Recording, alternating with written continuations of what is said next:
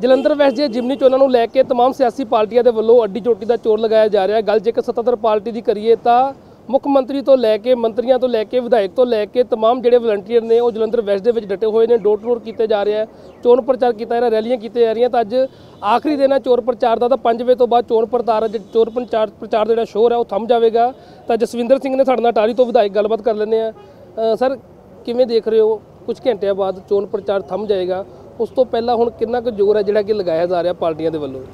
ਦੇਖੋ,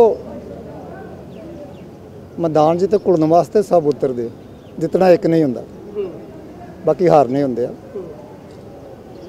ਅਸੀਂ ਜਿਸ ਤਰ੍ਹਾਂ ਦਾ ਹੁੰਗਾਰਾ ਮਿਲ ਰਿਹਾ, ਜਿਸ ਤਰ੍ਹਾਂ ਸ਼ਿੱਦਤ ਨਾਲ ਸਾਡੇ ਵਰਕਰਸ ਲੀਡਰਸ ਕੰਮ ਕਰ ਰਹੇ ਆ, ਉਸ ਤੋਂ ਸਾਬਤ ਹੁੰਦਾ ਕਿ ਜਿੱਤ ਸਾਡੇ ਕੋਲ ਅਸੀਂ ਹਰ ਤਰ੍ਹਾਂ ਦੇ ਨਾਲ ਜਿੱਤ ਰਹੇ ਹਾਂ ਮੁਕਾਬ ਜਿਤਨਾ ਚਲੋ ਦਾਵਾ ਹਰ ਕਰਦਾ ਮੁਕਾਬਲਾ ਕਿਹੜੀ ਪਾਰਟੀ ਨਾਲ ਸਮਝਦੇ ਹੋ?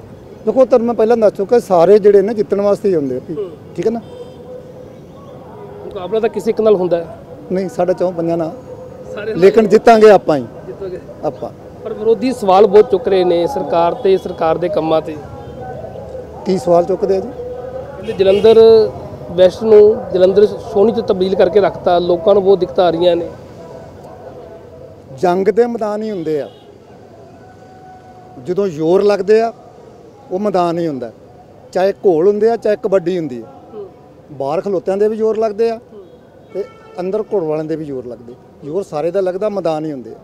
ਇਸ ਕਰਕੇ ਇਹ ਉਹ ਮੈਦਾਨ ਨਹੀਂ ਆ ਜਿੱਥੇ ਗੋਲੀਆਂ ਚੱਲਣੀਆਂ ਨੇ ਤੋਪਾਂ ਚੱਲਣੀਆਂ ਨੇ। ਇਹ ਉਹ ਮੈਦਾਨ ਨੇ ਜਿੱਥੇ ਆਪਣੇ ਆਪਣੇ ਵਿਚਾਰਧਾਰਾ ਦੱਸਣੀ ਆ ਔਰ ਆਪਣੇ ਕੀਤੇ ਕੰਮ ਜਾਂ ਕਰਨ ਵਾਲੇ ਕੰਮਾਂ ਬਾਰੇ ਦੱਸਣਾ ਹੁੰਦਾ।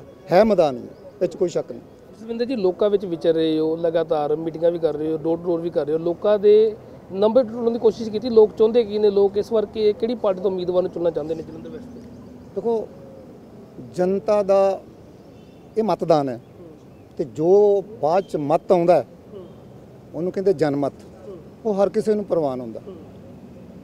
ਅਸੀਂ ਪਹਿਲਾਂ ਹੀ ਕਹਿੰਦੇ ਆ ਕਿ ਸਾਡੀ ਜਿੱਤ ਹੈ ਤੇ ਜੋ ਜਨਮਤ ਆਉਣਾ ਉਹ ਪ੍ਰਵਾਨ ਹੋਣਾ ਬਾਕੀ ਲੋਕ ਮੁੱਦੇ ਕੀ ਦੱਸਦੇ ਨੇ ਆਪਣੇ ਵੈਸਟ ਦੇ? ਦੇਖੋ ਮੈਂ ਲੋਕਲ ਤਾਂ ਨਹੀਂ ਆ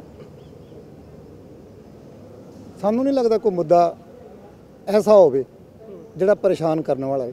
ਇੱਕ ਵਾਹਿਦ ਹਿੰਦੁਸਤਾਨ ਦੀ ਆਮ ਆਦਮੀ ਪਾਰਟੀ ਕਿਤੇ ਦੋ ਜਗ੍ਹਾ ਸਰਕਾਰਾਂ ਹੈ। ਇੱਕ ਦਿੱਲੀ, ਇੱਕ ਇੱਥੇ। ਔਰ ਦੋਵਾਂ ਹੀ ਸਰਕਾਰਾਂ ਨੇ, ਦੋਵਾਂ ਜਗ੍ਹਾ ਤੇ ਇਸ ਪਾਰਟੀ ਨੇ। ਪੰਜਾਬ ਦਾ ਹੀ ਲਾ ਲਓ, ਤਿੰਨ ਬਜਟ ਹੋ ਗਏ। ਇੱਕ ਪੈਸੇ ਦਾ ਟੈਕਸ ਨਹੀਂ ਅਜੇ ਤੱਕ ਲਾਇਆ।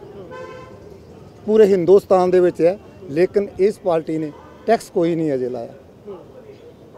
ਲੇਕਿਨ ਜਿਹੜੇ ਵਾਅਦੇ ਕੀਤੇ ਉਹ ਇੱਕ ਛੱਡ ਕੇ ਬਾਕੀ ਸਾਰੇ ਪੂਰੇ ਕੀਤੇ। ਠੀਕ ਹੈ? ਬਾਕੀ ਲੋਕ ਸਭਾ ਗਈ ਹੈ। ਜੋ ਜਨਮਤ ਬਾਹਰ ਆਇਆ ਉਹਨੂੰ ਅਸੀਂ ਪ੍ਰਵਾਨ ਕੀਤਾ ਹੋ। ਹਰ ਤਰ੍ਹਾਂ ਦੇ ਲੋਕ ਪ੍ਰਵਾਨ ਪ੍ਰਵਾਨ ਕਰਨਗੇ। ਅਸੀਂ ਜਿੱਤ ਦੇ ਕਿਨਾਰੇ ਤੇ ਹਾਂ। ਸੱਜਣਾ ਜਿੱਤਾਂਗੇ ਅਸੀਂ ਸਭਾ ਦੀ ਗੱਲ ਕੀਤੀ ਤੁਸੀਂ 13 ਜ਼ੀਰੋ ਦਾ ਨਾਰਾ ਦਿੰਦੇ ਭਗਵੰਤ ਮਾਨ ਤਿੰਨ ਤੇ ਸਿਮਟ ਕੇ ਰਹਿ ਗਏ। ਭਾਜੀ ਅਗਲਾ 400 ਮੰਗਦਾ ਸੀਗਾ। ਠੀਕ ਹੈ ਨਾ? ਤੇ 300 ਨਹੀਂ ਪੂਰੀਆਂ ਕਰ ਸਕਿਆ ਯਾਰ। 293 ਤੇ ਠੱਪ ਗਿਆ। ਇਹ ਚੱਲਦੇ ਹੁੰਦੇ ਆ। ਪਰ ਸਾਡੇ ਵਾਅਦੇ ਆ ਅਸੀਂ ਲੜਦੇ ਆ। ਇਹਦੇ ਚ ਨੈਸ਼ਨਲ ਜਿਹਨੂੰ ਤੁਸੀਂ ਹਾਰ ਕਹਿ ਰਹੇ ਹੋ ਨੈਸ਼ਨਲ ਕਾਰਨ ਵੀ ਨੇ ਠੀਕ ਹੈ ਨਾ? ਤੇ ਕੁਝ ਕਾਰਨ ਹੋਰ ਵੀ ਨੇ। ਕਈ ਦੱਸ ਸਕਦੇ ਆ ਕਈ ਨਹੀਂ ਦੱਸ ਸਕਦੇ ਕੀ ਲੱਗਦਾ ਉਹ ਹਾਰ ਹੁਣ ਜਿਮਨੀ ਚੋਣਾਂ ਦੇ ਵਿੱਚ ਕਵਰ ਹੋ ਪਾਏਗੀ ਜਲੰਧਰ ਡੈਸ ਬਾਈ ਨਾਟ ਜਿੱਤਾਂਗੇ ਅਸੀਂ। ਲੋਕਾਂ ਦੇ ਚਿਹਰੇ ਜਿੱਥੇ ਅਸੀਂ ਜਾਂਦੇ ਆ ਉਹਨਾਂ ਚਿਹਰਿਆਂ ਤੋਂ ਨਜ਼ਰ ਆਉਂਦਾ ਹੈ ਕਿ ਆਪਾਂ ਜਿੱਤੂ ਆ ਲੋਕੀ ਸਾਡੇ ਨਾਲ ਆ।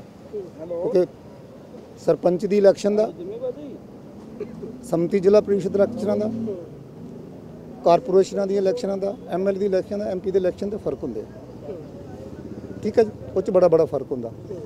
ਅਸੀਂ ਜਿੱਤਾਂਗੇ ਜਿੱਤ ਸਾਡੇ ਕੋਲ। ਕਾਫੀ ਸਵਾਲ ਹੈ ਮੇਰਾ। ਜਲੰਧਰ ਦੇ ਵਿੱਚ ਨਸ਼ਿਆਂ ਨੂੰ ਲੈ ਕੇ ਤੇ ਦੜੇ ਸੱਟਿਆਂ ਨੂੰ ਲੈ ਕੇ ਬਹੁਤ ਸਾਰੇ ਸਵਾਲ ਖੜੇ ਹੁੰਦੇ ਨੇ।